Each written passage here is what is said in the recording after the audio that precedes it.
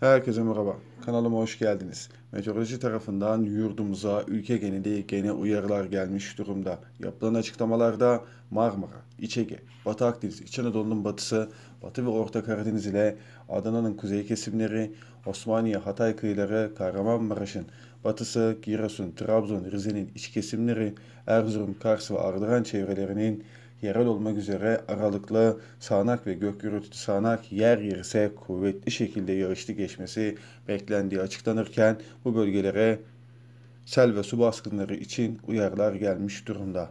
Yağışların ülke genelinde bölgesel olaraktan öğle saatlerinden sonra Antalya'nın iç kesimleri, Kırklareli, Edirne, Tekirdağ, Avrupa yakası başta olmak üzere İstanbul ile Kastamonu ve Sinop çevrelerinde Akşam saatlerine doğru ise Trakya ile Avrupa yakası başta olmak üzere İstanbul çevrelerinde kuvvetli olacağı tahmin edilirken buralara da sel su baskınları için uyarılar gelmiş durumda.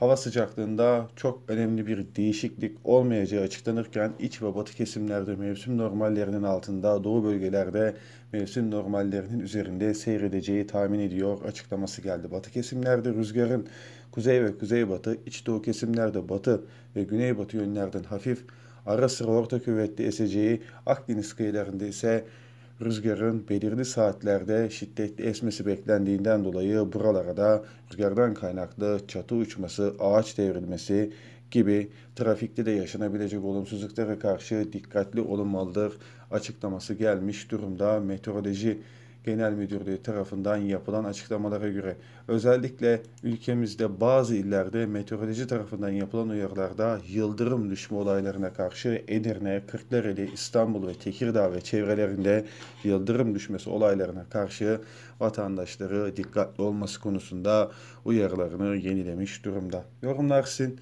Sonraki videolarda görüşmek dileğiyle şimdilik hoşçakalın.